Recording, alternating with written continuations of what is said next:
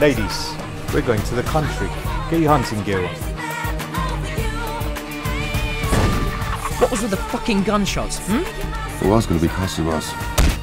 I don't give a fuck.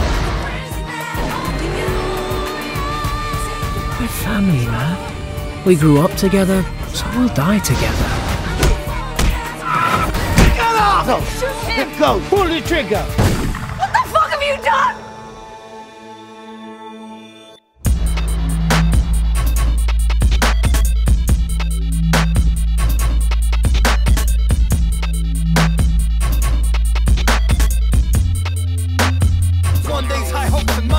Peace.